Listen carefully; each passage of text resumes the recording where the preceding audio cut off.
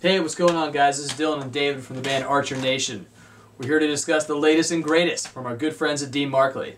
We've been in the family since 2012, using the Blue Steel strings for both guitar and bass, and we absolutely love them.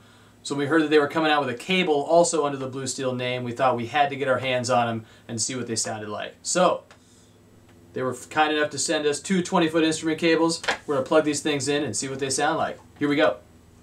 All right, as bassists, we have different challenges when it comes to tone clarity and muddiness or lack of muddiness. One of the things is tapping. When you do tapping lines as a bass player, it's really easy for the lower notes to get muddied together.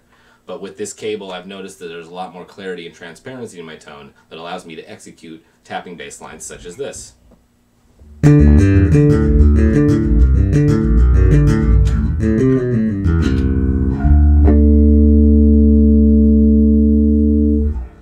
This cable gives me great tone for slap bass as well.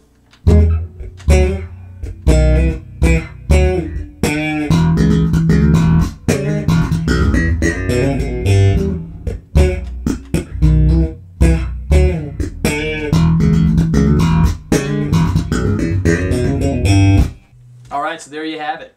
We can't wait to put these cables to use on tour coming up.